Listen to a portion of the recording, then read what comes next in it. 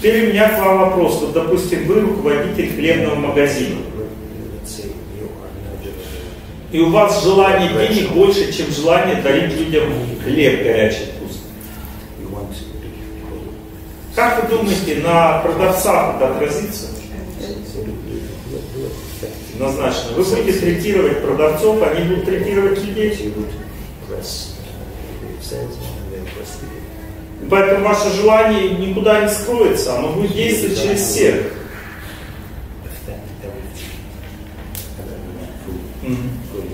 Также интуиция. У меня был один директор банка знакомый, очень благотворительный человек, очень сильно помогал. Я его спросил, как ты определяешь, с кем заключать, ну как бы, отношения финансовые, с кем нет. А он грузин какой-то, и он говорит, я когда звоню человеку, я нюхаю трубку.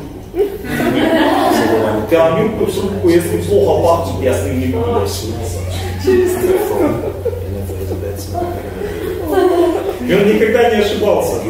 Ну, Господь через запах трубки давал знания. Но он так научился, он так решал вопрос. Звонит и нюхает трубку. Воняет дальше туда. То есть интуиция, Бог дает знания. Если у тебя правильно все работает, Бог дает знания. Также люди к тебе тянутся. У руководителя желание эксплуатировать людей и желание помогать им. Два желания. Одно желание, которое Богу нравится, а другое, которое Богу не нравится. И если у человека желание помогать людям больше, люди к нему тянутся. Вот спросить, допустим, у вас какой руководитель? Они говорят, вот такой. У вас зарплата большая, средняя. Почему вы там работаете? Потому что хороший коллектив, хороший руководитель. Мне там нравится. Я хочу быть в этом месте. То есть вопрос зарплаты решается легко. Ты если вот, допустим, твой подчиненный заболел, ты к нему приходишь, говоришь, никому не рассказывай, я тебе сейчас все устрою. Находит врача, оплачивает лечение, все делает сам, по своим связям. Как вы думаете, такой человек потом будет благодарен? Нет? Он в беде оказался, или у него жена его бросает, он поговорил с женой, пришел. И так, с уважением, начальник пришел, нифига себе, у меня такой муж. Начальник пришел уговаривать меня, чтобы я осталась с ним. Надо подумать. Ну, будет благодарен.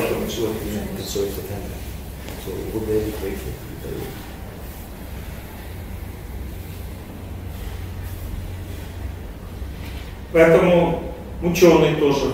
Есть желание диссертация или наука.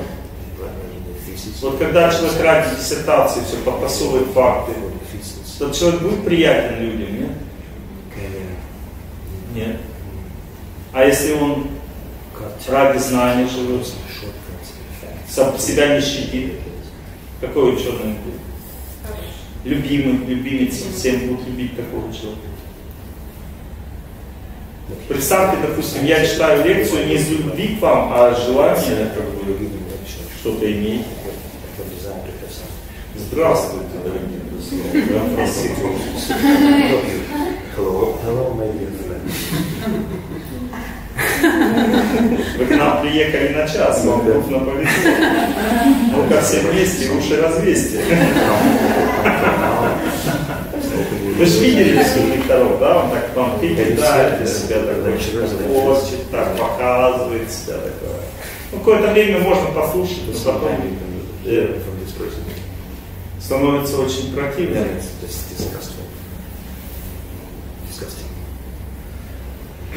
Качество лидера.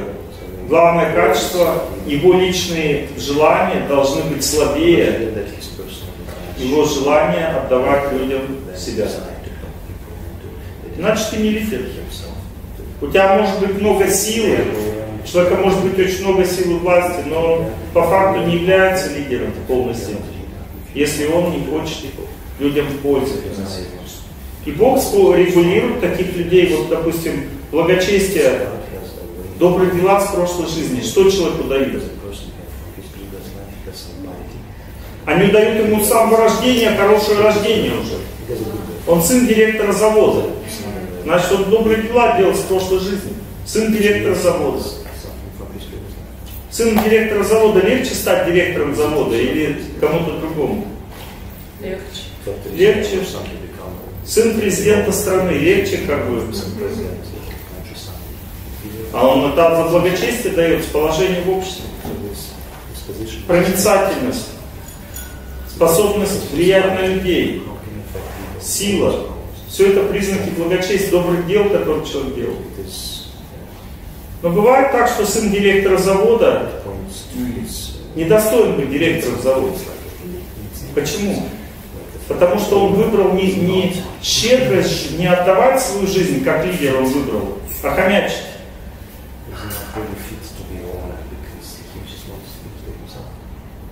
Добрые дела не пошли ему на пользу. Он начал всем пользоваться, пытаться, но не хочет отдавать. Значит, что произойдет с этим человеком? Его благочестие будет вступать в конфликт с его интересами. И когда интересы станут сильнее благочестия, то дальше небо в клеточке. Какое-то время он продержится, он может там всем ударить мозги. Но приходит время, и удача уходит из его жизни. Надо просто подождать. Бывают очень сильные люди, он много как бы неприятностей всем приносит. Но приходит время, и его грехи становятся сильнее его благочестия, и в этот момент власть, деньги и славу человек теряет. Поэтому быть неправильным лидером можно какое-то время. Потому что есть два способа привлекать силу, деньги, власть, славу. Один способ – это силой своего благочестия, или назовем это силой. У тебя есть сила. Ты можешь заставить людей работать на себя. Можешь угрожать им, говорить, я тебя выгоню, если ты бы не будешь вот так делать. Силой влиять на ситуацию. Силой. Это надолго? Нет. Какое-то время, пока твои грехи будут слабее твое благочестие, ты можешь силой влиять на людей, силой. Обманом, бизнесом заниматься, брать людям, грабить их, обманывать. Вешать, вешать лапшу людям на уши как ученый. Какое-то время.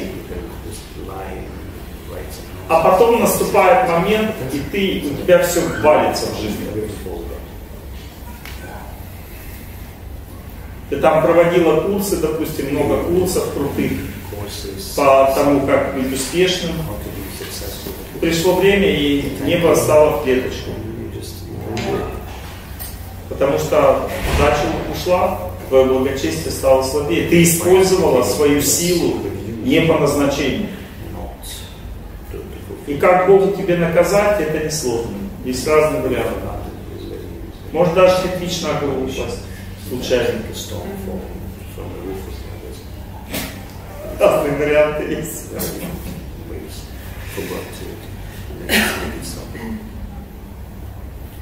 Поэтому, мои дорогие друзья, качество это важная часть лидера.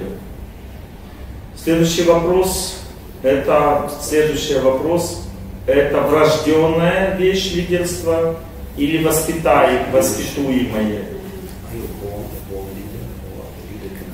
Быть лидером это врожденная вещь, это не воспитуемое. Но каким ты лидером будешь, это вопрос твоего воспитания. Еще раз повторяю, как бы вот этот светофорчик и этот, лидерские светофорчики должны гореть с рождения сильно, иначе ты первый умный был детина, средний был и так, и сяк, третий вовсе был дурак. Все, родился дураком, дураком помрешь.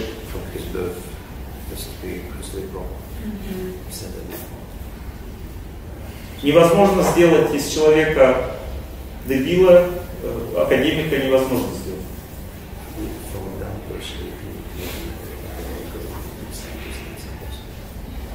Но если человек лидер по природе, Он уже много жизней ученый, или много жизней руководитель, или много жизней бизнесмен. Он э, может повысить свое качество, он может выйти на первую категорию и отдать свою жизнь, ну вернее на первый уровень выйти и отдать свою жизнь людям. Он может выйти на второй уровень и отдать свою жизнь целой планете. Вот, допустим, есть же люди страны, знаете? Люди страны. Вот ты приезжаешь в какую-то страну, у них есть там доска почета, там вот этот человек у нас такой страны.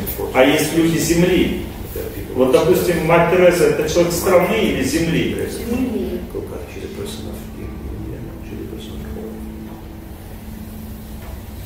Есть люди земли, у них э, такое мышление. Вот, допустим, взять Лев Толстой, он русский. Ну какое у него мышление? Него он, он космополит. Он никакой религии не принадлежит, он уважает все веры. Он уважает все страны. Он на уровне Земли мыслил, поэтому он везде и здесь все знают этого человека.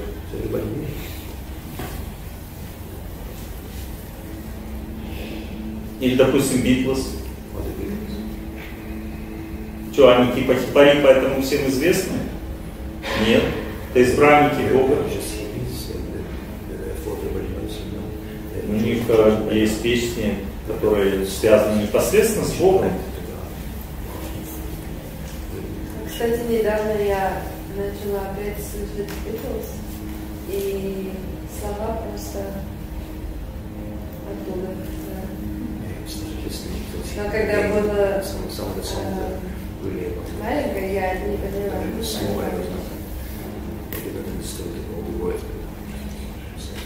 И он когда припев там был Аллилуйя и Хари Кришна, это уже другой уровень понимания вещей. То есть уже человек понимал, что Бог в разных традициях. Как вы думаете, когда Харрисон уходил из жизни, кто рядом с ним? С ним рядом был верующие люди, они молились за него. Не его э, хиппи последователи, верующие люди рядом с ним. Поэтому популярности часто она от Бога идет. Это миссия. Людей миссионерами рождают. Кто такой миссионер? Это самая высокая категория уже лидерства. Миссия это миссия это другая судьба.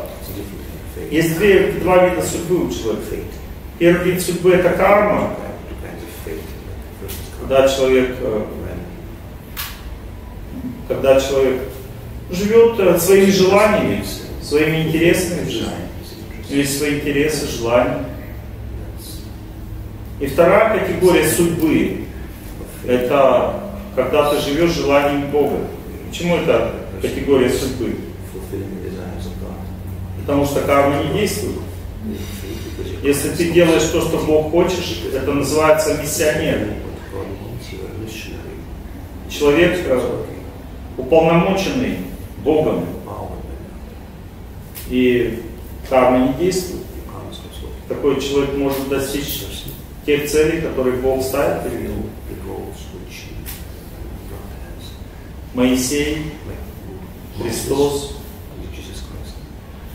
Мухаммед. Что с ними могли сделать? Когда курайшиты победили мусульман, они уже подошли к его палатке.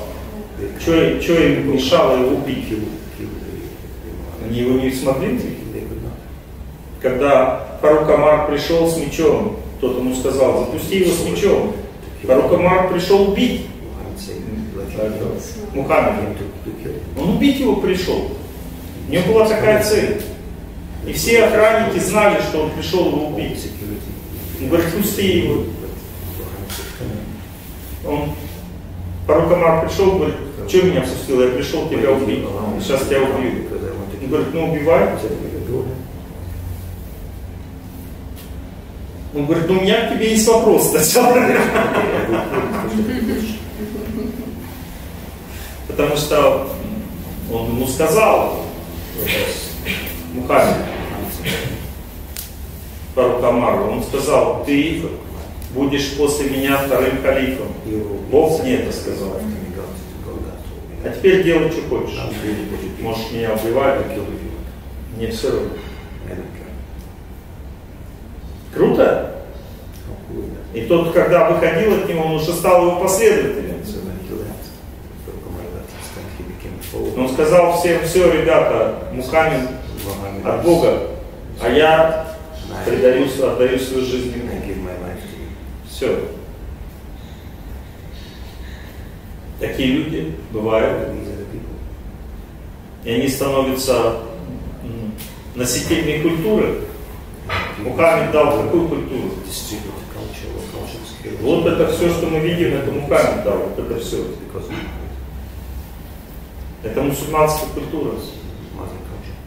Иисус Христос дал все, что мы видим у христиан, это Иисус Христос один дал. А все, что дал Мухаммед на Иисус Христос, это все давно было благодаря Моисею. Потому что он дал вот это знание о Боге едином и победил а, фараона и спас 600 тысяч человек. Вывел из Египта. Такие люди бывают. Какая судьба на него может повлиять? Кто может что-нибудь что сделать? Так? Можно убить по своему желанию такого человека? Нет, невозможно. Почему Иисус Христос его распяли? Почему? Потому что он сам захотел. Потому что так хотел Бог, он сам не хотел. Он плакал в Оливковом саду целую ночь себе. Говорит, Господи, избавь меня от этой участи. Уводить.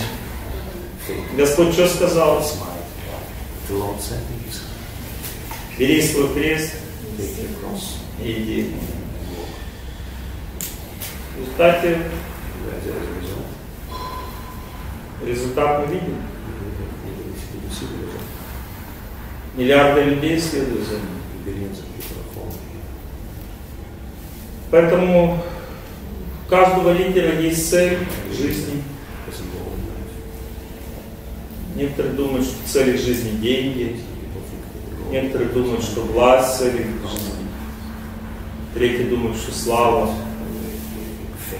На самом деле целью жизни является достичь такой возможности в жизни, что Бог тебя сделал своим избранником, дал тебе служение, чтобы ты смог что-то сделать для Него. И тогда достигаешь высшего успеха в жизни. Как вы думаете, когда человек достигает высшего успеха, ему низший успех под властью? Под властью? Ну, он не нужен. Ну, под властью? Да. А низший успех это что такое? Богатство, власть и слава. Если человек слуга Бога, ему Бог может дать деньги, власть, славу. Поэтому, как веды говорят, тот, кто понимает, что река лучше, чем много-много колодцев, он получает все в жизни от воды, то, что ему надо. Точно так же и человек, который понимает высшую цель жизни, легко может достичь всех других целей.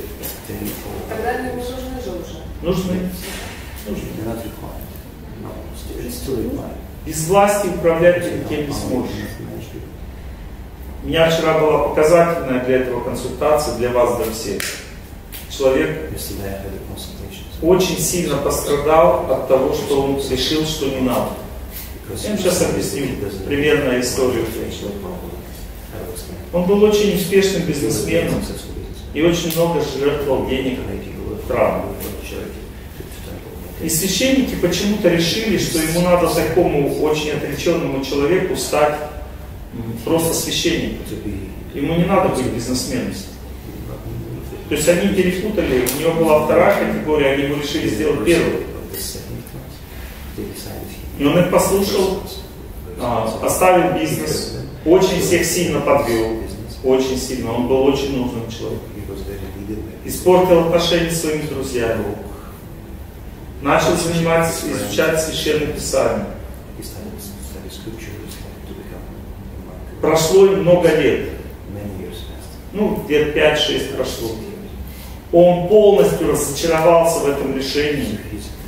И с другой стороны, он понимает, что ему не нужна власть.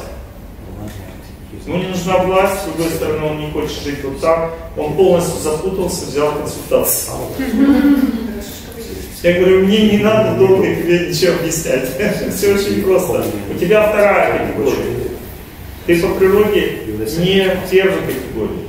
Поэтому твой долг перед Богом служить Ему своей властью. Вот в чем заключается опция. Не отдать власть пойти в храм. Не отдать храм пойти во власть, а власть отдать храму.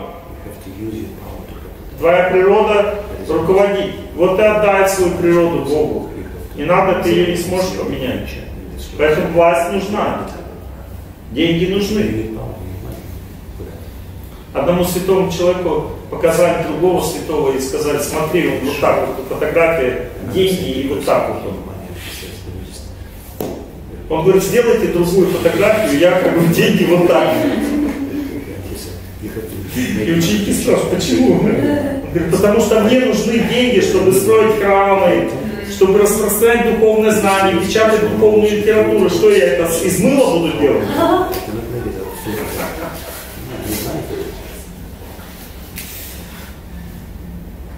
Все. В этом заключается самое высокое отречение. На санскрите это называется юкта вайраг. Есть вайраги просто отречение, есть юкта вайраги. Юкта вайраги выше, чем вайраги. Потому что человек, который оставляет свои обязанности и отдает их Богу, использует свою природу, выше, чем тот человек, который все оставляет и просто отрекается.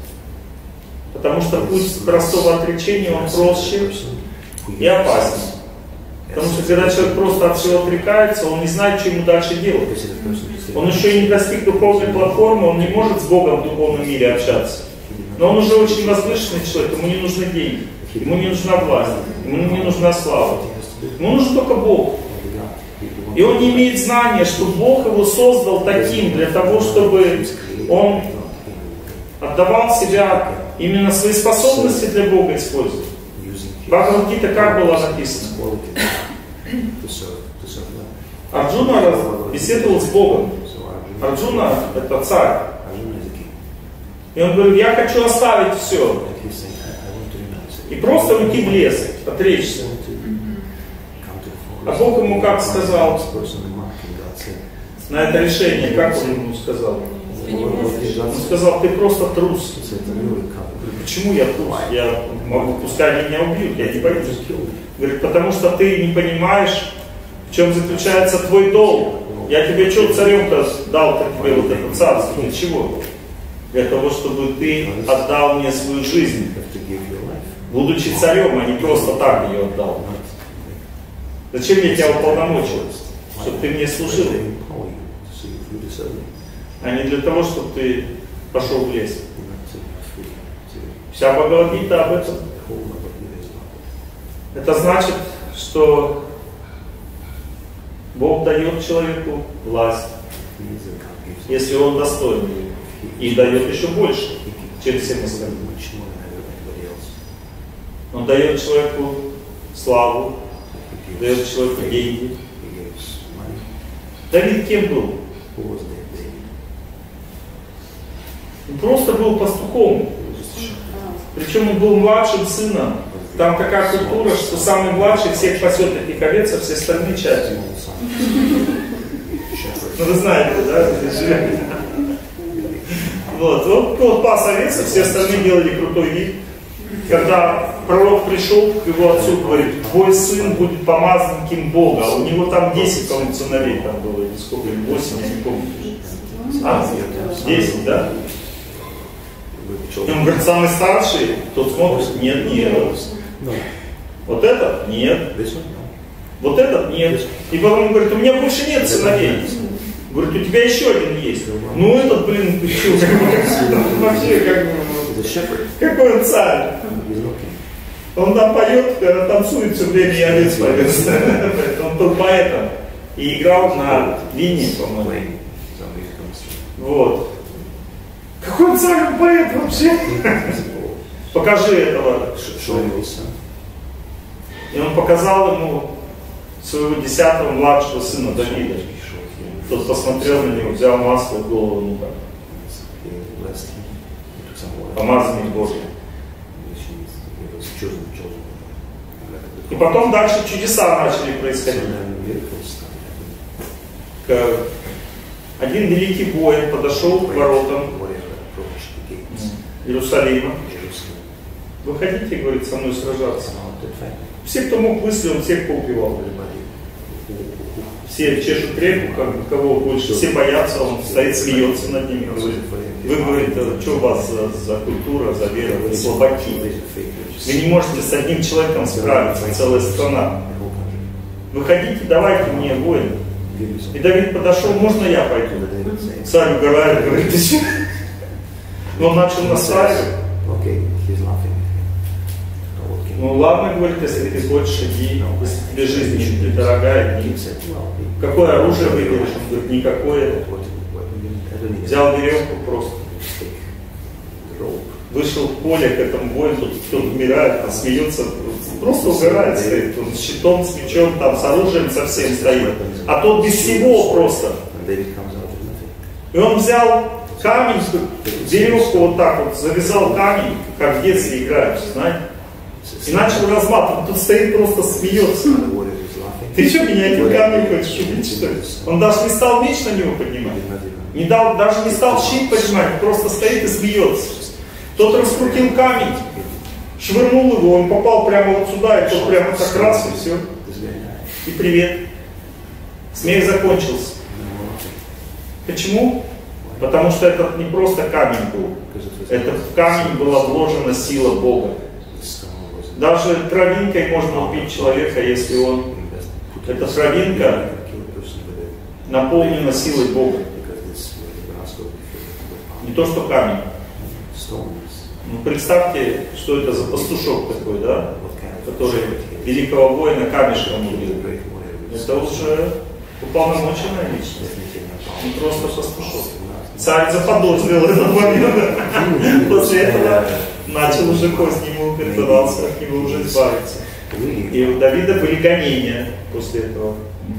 Все поняли, что он посланник Бога. Просто так это не происходит, такие вещи.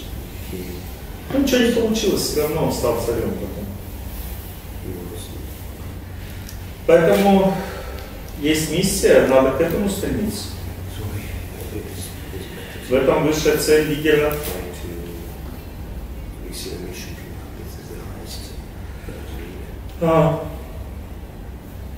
дальше мы будем говорить о кризисах лидеров завтра, о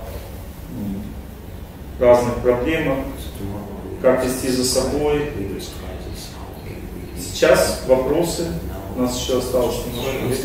Я скажу, который, мне кажется, больше всем будет интересен, чем мне. Вам так всегда кажется. Я такие стараюсь разбирать. А, я что-то забыл. А, ну, если мы теперь знаем о том, что э, миссию в жизни дает Бог, и о том, что дело нужно начинать с какой-то идеи, ну, чем-то быть полезным, ну, с какой-то идеей, а, то когда мы строим... Лен, вам слышен вопрос? Вы слышите? Нет? Вам надо Нет, сюда, нет, нет, вам нет. надо сюда подходить, вот, присаживаться здесь. Да? И задавать вопрос поближе. Так, да. А, да, стульчик поставьте. Кто будет задавать вопрос, садитесь. Вы же лидер. Да, слышно? Вопрос у меня заключается в том, что теперь мы знаем о том, что миссию в жизни человеку дает Бог, о том, что дело нужно начинать с какой-то целью самого предприятия, принести какие-то блага людям, или обществу, или стране, миру, то э, вопрос заключается в том, что когда человек еще не знает своей миссии, как, как правильно ставить цели в компании, с которой мы начинаем деятельность.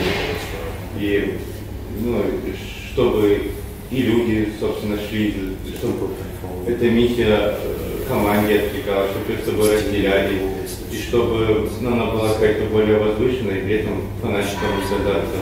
Ну, в плане того, что а, когда ну, говорить о чем-то возвышенном, больше, кроме как просто о цели. Садитесь, Такое. вопросы слышим. Садитесь на свое место. А можете поставить? Я... Нет, нельзя. Я предполагал, что после этой лекции вы все решите, что вы уже находитесь на третьем уровне развития. Я предполагал это. Все, теперь мне не нужны деньги, не нужна слава власть, я не на уровне земли, я уже посланник Бога, все. Messenger. А, аллилуйя! Отлично. Нет, мои хорошие. Вы просто получили знания. Но есть отличие же от того, что человек получил знания и прошел путь. Поэтому знание всегда может дать человеку гордость. Приезжаете к себе в компанию и говорите, вы все на низком уровне мышления, я на высоком. Поэтому мне нечем с вами разговаривать. Вы не понимаете, зачем вообще деятельностью заниматься. Все надо для Бога все делать. Ты понимаешь, там этот Гришка стоит такой, он как бы грузчик у тебя. Ну, как бы он выпивоха такой. Ну, он работает, грузит, ему деньги, бабки нужны для бутылки. Ты ему говоришь, ты понимаешь, для Бога надо работать. Он смотрит, начальник зря в Дубай съездил. У него крышу сорвало. Всем говорится, у меня у начальника крышу сорвало. Он что-то вообще что-то гонит. Я не понял, как бы юмора. Поэтому, мои хорошие, знание должно быть адаптировано. К has чему адаптировано? К вашим желаниям. У вас что? Желания отменились, что ли, в жизни? Они есть? Конечно. Не надо скрывать для себя. То есть есть желание, живите так, как Бог вам дал, вы же развиваетесь. У вас есть желание. У вас что после семинара получилось? Вы просто выстроили линию всю своей жизни. Вы знаете свои планы, что дальше будет, вы понимаете, как вы будете меняться и что дальше будет меняться ваша жизнь. Но при этом это не значит, что вы прямо сейчас уже таким человеком стали. Поэтому приезжайте домой, общайтесь, как общались со своим помощником. Есть люди очень возвышенные, развитые в вашем предприятии, допустим, вы можете им дать больше. Но опять же, столько надо давать, сколько человек несет. Вы что, думаете, я все вам рассказываю?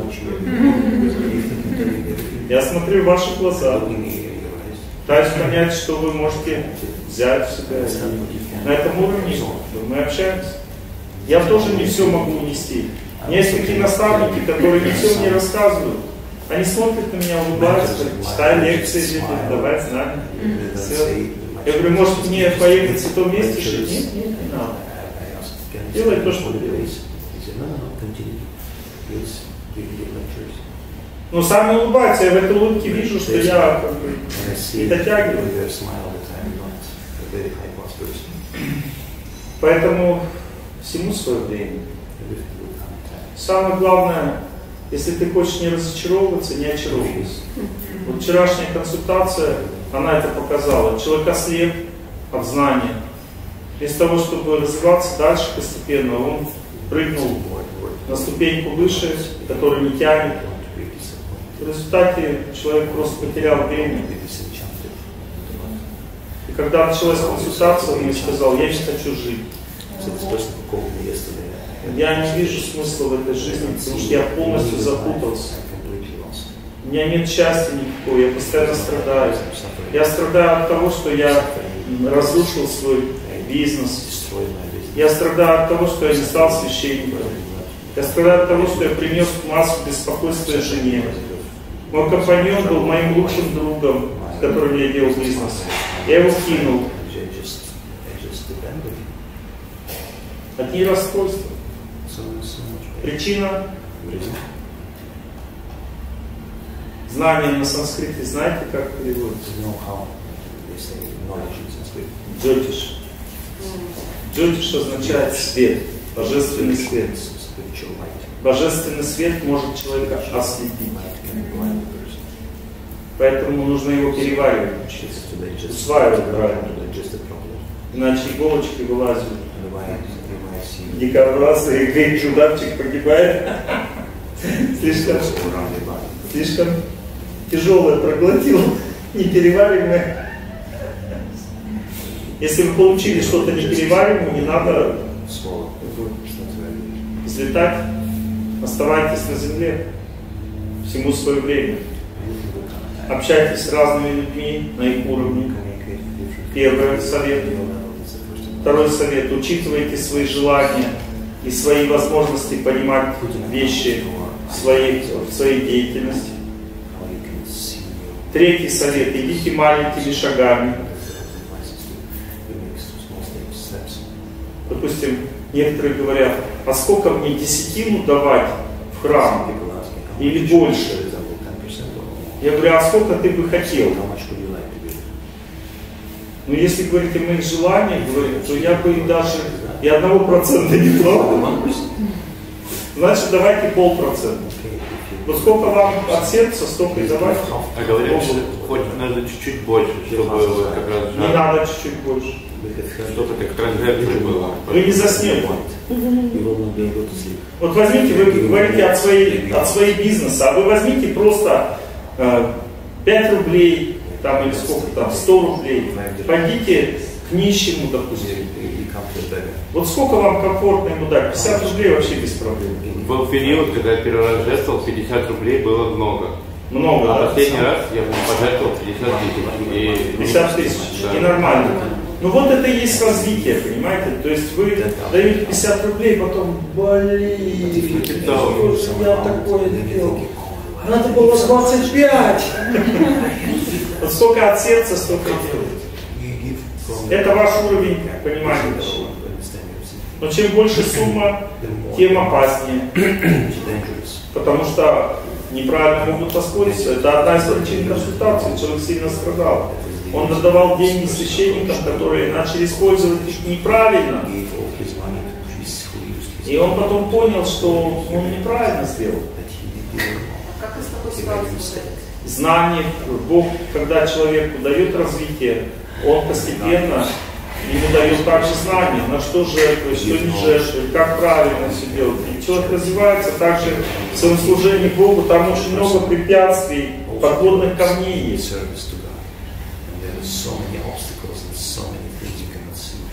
Надо идти просто путем, поставить цель, развиваться. Я вам дал несколько советов. Первый совет.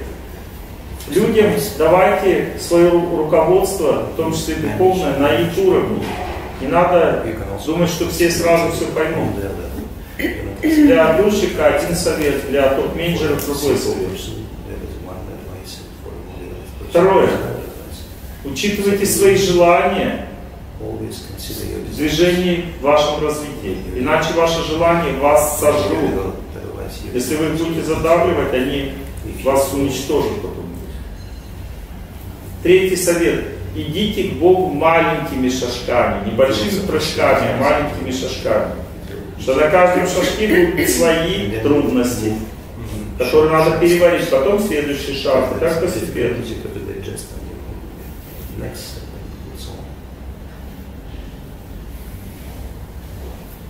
Все, три совета. Three advices. Дальше вопросы? Может, онлайн Лен, какие-то вопросы? Да. Татьяна из Москвы спрашивает, а желание помогать людям очень высокое. Соответственно, вы правы, я успешна. Часто бывает ситуация, когда люди меня используют. Я хорошо осознаю эти моменты и бывает расстраиваюсь. Как правильно себя вести, если понимаешь, что тебя используют и хотят, э, и хотят получать и брать только? Или довериться Богу, и Он даст больше? Как это Игорек, мы сегодня в воде стояли, он пел песенку. Я, говорит, я, говорит, богатая, живу в Дубае, и это не скрываю. Так и здесь тоже я успешная, ну успешная, но что теперь сделать? А, Еще раз один вопрос какой. I lost the question. Again. Как жить после этого, Олег Геннадьевич? Хотят и брать. People want Все хотят from it. Классный вопрос. Если ты лидер, то все будут тебя использовать.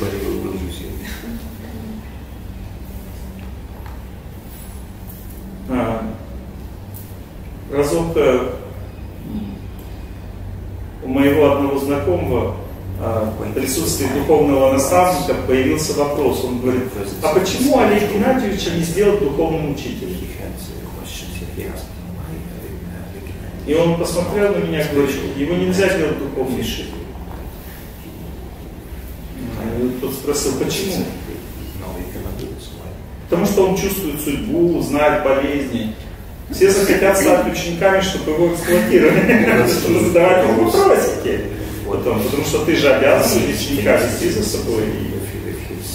Поэтому пускай будет тот, кто он есть.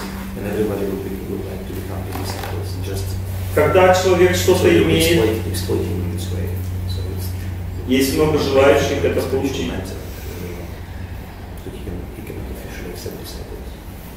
So ну, разок, несколько раз в жизни общался с президентом страны. Ну, с- вернее, не с многими президентами, а с одним. Три.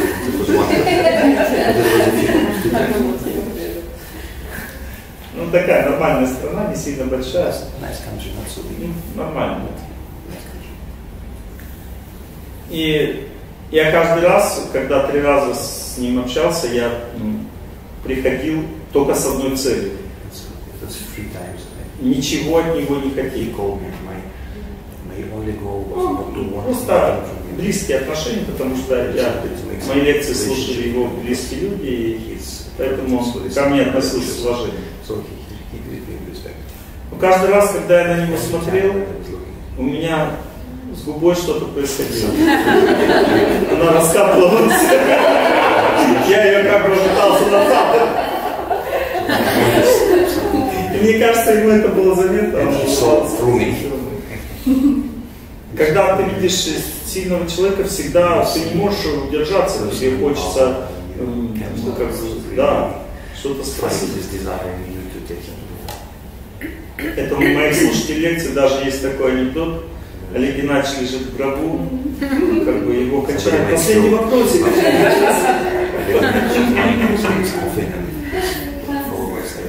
Are shaking the and saying, "One- one last question, please." Вот. И это неизбежно. Если ты становишься лидером, значит, э, ты будешь э, страдать от того, что люди не будут к тебе искренне и честно относиться, они все время от тебя что- что-то будут хотеть. И только очень сильные люди смогут э, с тобой строить чистые, честные отношения. Все остальные будут что-то хотеть. А может быть никого не будет рядом, ну, быть искренним и честным рядом с тобой.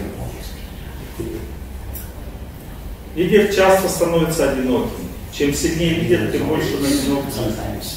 Потому что все смотрят ему с него с желаниями. Это участь такая, сложная участь сильных людей. The Надо снисходительно относиться к людям. Да, у людей есть слабости, они что-то хотят. Ничего страшного, это нормально. Нужно жить дальше. Как с этим жить? Ты увидела, что все люди слабые. Как тебе с этим жить? Ну, представь, перед тобой ангел будет сидеть. И он спросит, что тебе надо, что-то? И ты скажешь, нет, ничего не надо. Да?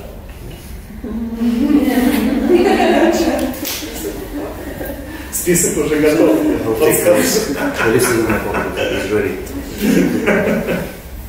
Поэтому не надо никого осуждать. Если вы такой сильный человек, что-то можете дать людям, конечно, они что-то будут от вас хотеть. И еще здесь тоже есть одна проблема, что если ты на первом уровне, если ты просто вот скупердяй, ты, ты вроде бы лидер, но лидером не являешься, просто лицемер. Ну, вряд ли от тебя кто-то сильно что-то будет хотеть, потому что, ну, все видят, что ты скупой, ну, что, бесполезно, ничего просить, все равно ничего не даст.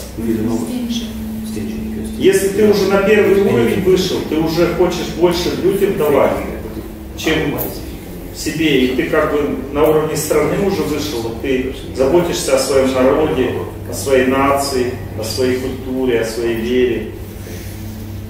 Как вы думаете, количество желающих возрастет? Сразу же люди будут сильно тебя заметят, они будут хотеть что-то от тебя, сильно хотеть. И ты должен это переваривать, по-доброму относиться к людям. Я разок в Индии наблюдал такую картину. Один человек приехал во Вриндаван с целым багажником огромной машины, дорогих видов одежды, прям дорогих, реально. И он просто начал людям, простым нищим, раздавать эти дорогие сари, там, все чичадры, там. Знаете, что началось дальше? Они, «А-а-а!» там такая толпа просто там, они вот так вот. Все с ума сходили. Как он себя вел? Очень спокойно, очень деликатно каждому человеку давал его одежду. То, что он считает. Пока все не раздал. Надо к желанию людей относиться очень вежливо. Значит, ты благородный человек. Тебе не смущают человеческие желания. Если человек голодный трясет тебя за штанину, там, ты ему даешь. It them.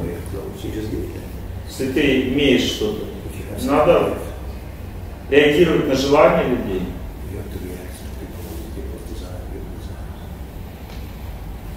И вот теперь думайте, как вам с этим жить.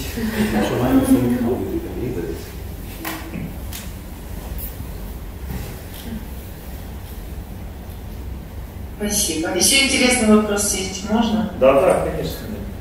Ага. Марат из Турции спрашивает. Я объединяю вокруг себя других более сильных лидеров для участия в некоммерческом проекте.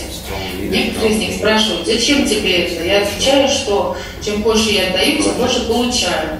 Вопрос, нужно ли помимо этого признаваться лидером а, в своих материальных желаниях, которые тоже мною движут? Но если у вас мало еврейских кровей, можете не признаваться. Можете признаваться, а если много, можете не признаваться.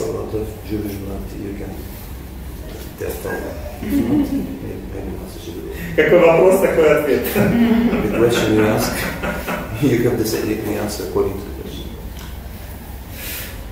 Ну, конечно, лучше людям говорить, да, что у меня есть свои какие-то личные интересы для этого.